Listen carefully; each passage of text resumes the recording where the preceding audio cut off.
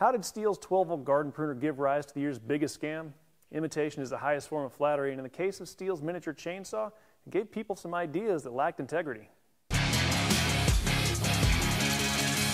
Thanks for clicking on our video. We hope you find it helpful. While you're here, consider helping us out by hitting the subscribe button and give us a thumbs up if you like what you see. When you're finished watching this video, check out these tools that we think are worth splurging on right now.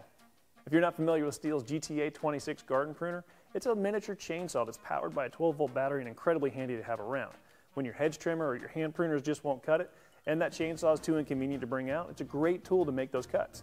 Unfortunately, the design is so enticing and it's been so hard to find these in stock that it's given rise to some knockoff products and some questionable advertising tactics that have been catching people in scams. One of the most common schemes take you to a legit looking page, but when you order the saw at a crazy good price of 20 to $50, you wait weeks or maybe even months without the tool arriving. And if it does, it's clearly a cheap knockoff it's even the same color scheme, but it's just not a Stihl and it's made of much lower quality parts. Another one makes it look like you're ordering the full saw, but if you miss the fine print, you miss that you're actually only ordering the chain.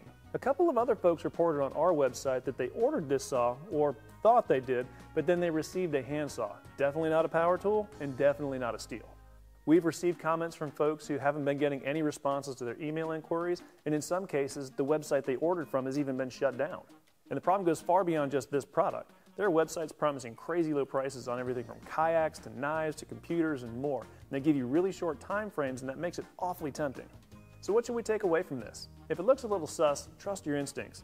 Deals that are too good to be true usually are. If you're not sure, go ahead and ask somebody else to take a look at it with you before pulling out that credit card.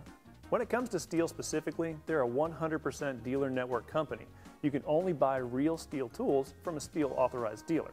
If you're still interested in the GTA 26, check out stihlusa.com and go to their Find a Dealer page where you can find someone who's selling this for real and authorized. We hope that this video has helped clear up some of the confusion out there. If you have any questions or feedback for us, please leave those in the comments below, and as always, thanks for watching.